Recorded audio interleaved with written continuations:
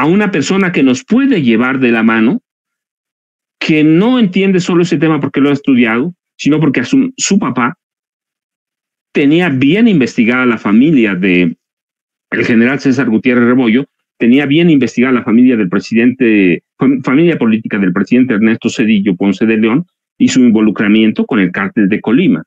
Así que para estudiar este y para conocer este tema, que les parece? Mejor pasamos con el licenciado César Gutiérrez Piego, que además me da mucho gusto porque lo conozco, porque lo sigo, porque sé lo que hace.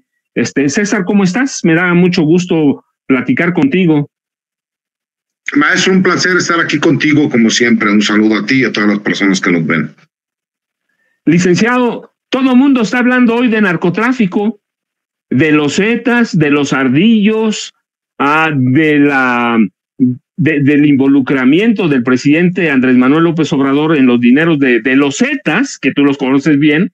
Este, así que han hecho una, un desastre de un tema que verdaderamente no valdría la pena, pero es parte de un esfuerzo con los de Tim Golden, de Anabel Hernández, por ensuciar al presidente López Obrador y en el marco del proceso electoral. ¿Qué hay? ¿Qué sabemos? Yo digo, este reportaje es un chiste. Yo ya no sé si ponerme a reír, licenciado, pero este, ¿cómo lo explicamos?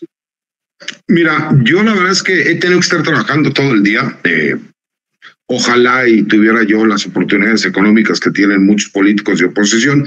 Yo tengo que trabajar para pagar las pensiones. Pero la verdad es que me llamó la atención cuando vi los comentarios que se hace a este reportaje. Y me llamó poderosamente la atención porque supuestamente este líder de los ardillos es el Ortega Jiménez.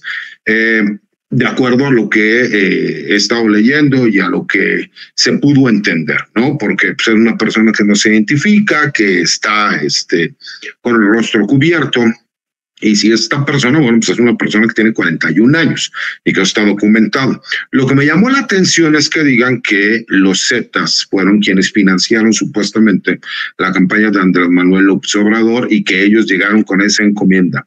Y por eso les hice como que varios comentarios, ¿no? Subí un tweet a las redes sociales en donde dije, bueno, si van a inventar una historia, no, van a hacer un montaje, por lo menos que tenga congruencia. Yo puedo entender que la gente a lo mejor no, no conoce sobre temas de narcotráfico y en cuanto escucha los Zetas, lo escucha como un impacto eh, fuerte, ¿no? El decir, wow, hasta los Zetas estaban involucrados. Y esta persona, este supuesto Celso Ortega Jiménez, dice que él era gente cercana de Omar Treviño Morales o Alejandro Omar Treviño Morales, que era conocido como el Z42, ¿no? Eh, para que la gente pueda ubicar. El Z42 fue detenido en el año 2015, era eh, hermano de Miguel Ángel Treviño Morales, que era, fue detenido, era el Z40 y fue detenido en el 2013.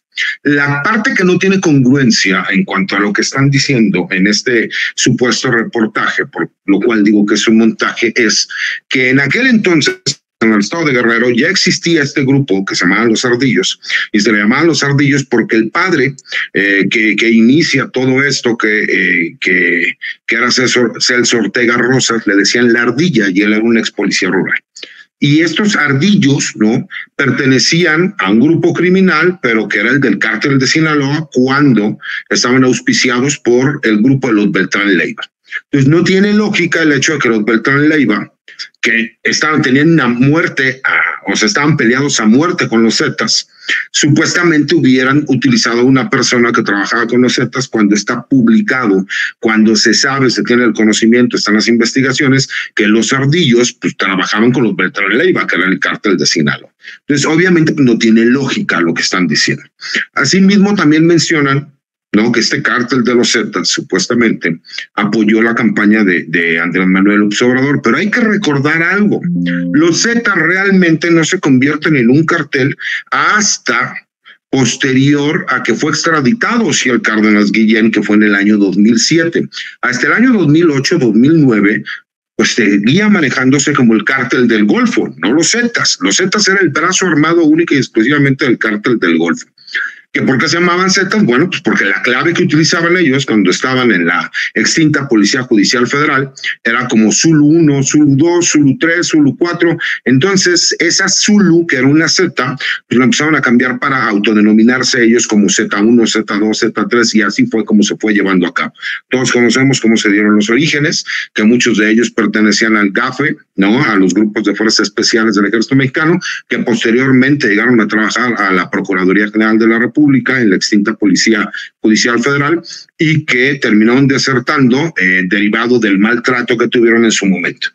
Pero ahí es donde a mí me llama la atención, maestro Cruz, que tú conoces también de estos temas, que quieran decir que ahora supuestamente los Zetas habían financiado una campaña cuando primero dijeron que supuestamente era el cártel de Sinaloa, cuando los Zetas no existían como un cártel de la droga en el año 2006 era el cártel del Golfo. Y segundo, los ardillos pues, pertenecían al cártel del Pacífico o trabajaban asociados con el cártel del Pacífico, que es conocido como el cártel de Sinaloa, pues con los Beltrán Leiva. Entonces, pues por supuesto que no tiene ninguna lógica lo que están diciendo, independientemente de que conocemos que ellos son los líderes regionales de la zona de la montaña en Guerrero, que un hermano de ellos ha sido presidente municipal y que va nuevamente a ser diputado por parte del PRD, pues obviamente les faltó imaginación y tal vez para las personas que no conozcan sobre el tema podrían creer un poco de lo que están hablando. Yo que sí conozco de estructuras criminales, conozco el tema, que lo he estudiado, que ha tenido que ver también con la defensa que yo tuve que llevar